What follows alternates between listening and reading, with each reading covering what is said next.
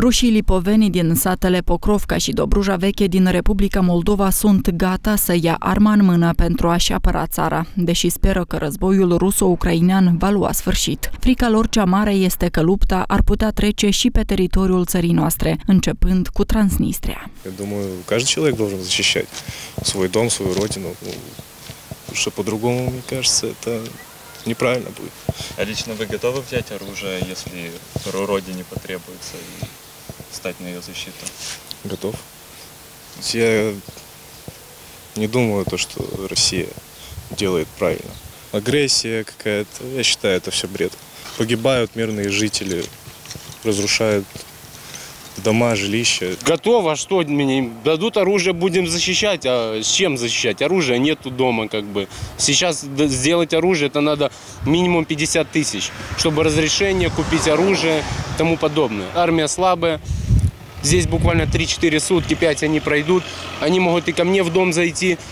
А я что смогу сделать? Я думаю, не надо было начинать эту войну. Все спокойно было. Любой человек будет свой дом защищать.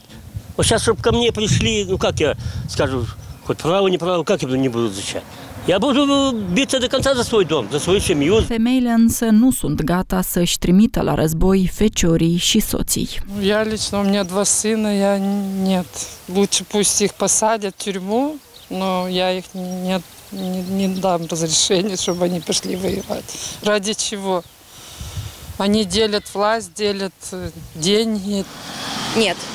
Лично я бы не пустила, допустим, да, у меня есть ребенок, но он еще маленький, но будь бы он взрослым, я бы не пустила его. Sunt oameni aproape încrezuți că războiul pe teritoriul Republicii Moldova este inevitabil în legătură cu tensiunile care au loc în Transnistria. Я не знаю, как оно будет, но то, что Приднестровье будет втянуто, это однозначно.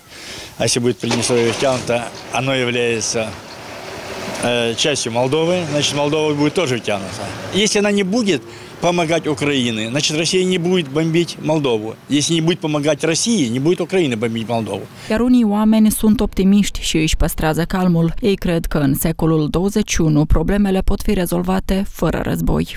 Мы никому не нужны, господи. Мы нейтральная страна, красивая, Молдова цветущая. Война – это всегда плохо.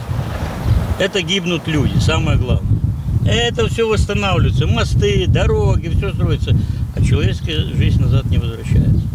Потому что мы служили, мы знаем, что такое война и, и так далее. Кое-какие точки проходили, мы знаем, что это такое. Война это очень плохо.